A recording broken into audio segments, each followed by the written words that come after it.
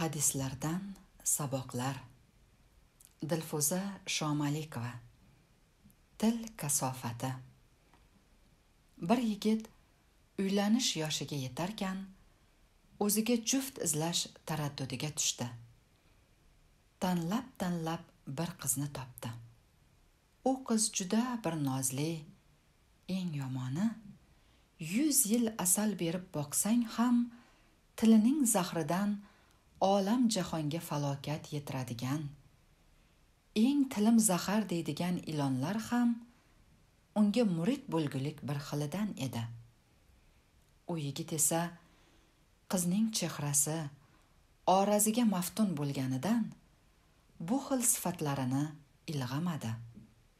Bilganlar qo'y joningga jabru sitamni sotib olma istasang undan ham yaxshi lobar qizlarni topib beraylik deyishlariga qaramay bilganidan qolmadi.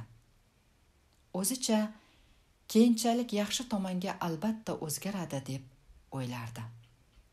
Ko'p mashaqqat sarfu xarajatlardan keyin unga erishdi ham. Ammo yigit o'ylaganchalik bo'lib chiqmadi. Xotinining har kungi tutumi tili achchiqligidan hatto qulog'iga tiqqan paxtalari ham foyda bermagach uni qorong'i bir yerto'laga bandi qilib qo'ydi.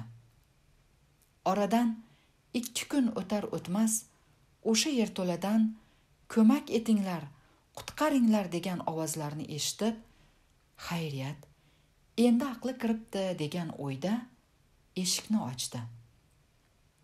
Lekin u yerdan xotini emas ulkan bir ajdarho qochib chiqib ketayotganini ko'rdi. Bu rivoyat barchaga o'rnak bo'lsinki boshga keladigan falokatlarning aksari til sababidandir. Rasululloh sollallohu alayhi vasallam bejiz musulmon kishi uchun afzal amal qo'li bilan ham tili bilan ham kimsaga ziyon yetkazmaydiganidir deb marhamat qilmagan.